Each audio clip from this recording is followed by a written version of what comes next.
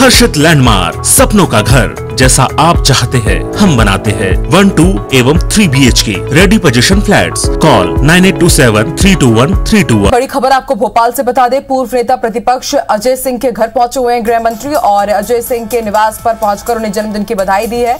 और दो दिन पहले ही अजय सिंह ने नरोत्तम मिश्रा से मुलाकात की थी और अब दोनों की मुलाकात को लेकर सियासी गलियारों में चर्चा काफ़ी तेज चल रही है।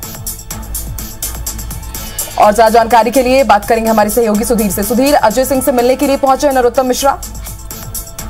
देखिए, बिल्कुल, आकांक्षा, बात करें तो आज अजय सिंह का जन्मदिन है और मध्य प्रदेश की सियासत में अजय सिंह कांग्रेस के दिग्गज नेताओं में समार हुआ करते थे, पर लेकिन पिछला जो चुनाव हारे थे उसके बाद में कांग्रेस के अंदर भी हसीिए पर चल रहे हैं। और दो दिन पहले जिस तरीके से अजय सिंह की नरोत्तम मिश्रा के घर पर मुलाकात दी थी बंद कमरे में तकरीबन दोनों की चालीस मिनट तक चर्चा हुई थी उसके बाद से मध्यप्रदेश के सियासी पारे में अचानक उछाल आया था और कई तरीके के कयास जो है वो लगाए जाने लगे थे। हम्म। पर लेकिन आज अगर बात करें तो नरोत्तम मिश्रा खुद उनके घर पर पहुँचे हैं। अजय सिंह का जन्मदिन है सत्तर साल के हो चुके हैं अजय सिंह और उसके बाद में माफ़ कीजिएगा छियासठ साल के हो चुके हैं अजय सिंह और उसके बाद में नरोत्तम मिश्रा ने उनके घर पर जाकर आज जन्मदिन की बधाई दी है। हम्म। हालाँकि इस जन्मदिन की बधाई का भी सियासी मायने निकाले जा रहे हैं क्योंकि हम्म। अचानक नरोत्तम मिश्रा पहुँचे थे। कांग्रेस के तमाम कार्यकर्ताओं के बीच में अकेले नरोत्तम मिश्रा की उपस्थिति ने कांग्रेस के कार्यकर्ताओं को चौंकाया और तकरीबन दस मिनट तक बधाई देने के बाद नरोत्तम मिश्रा अजय सिंह के घर से वापस अपने निवास के लिए निकल गए। शुक्रिया सुधीर पूरी जानकारी के लिए।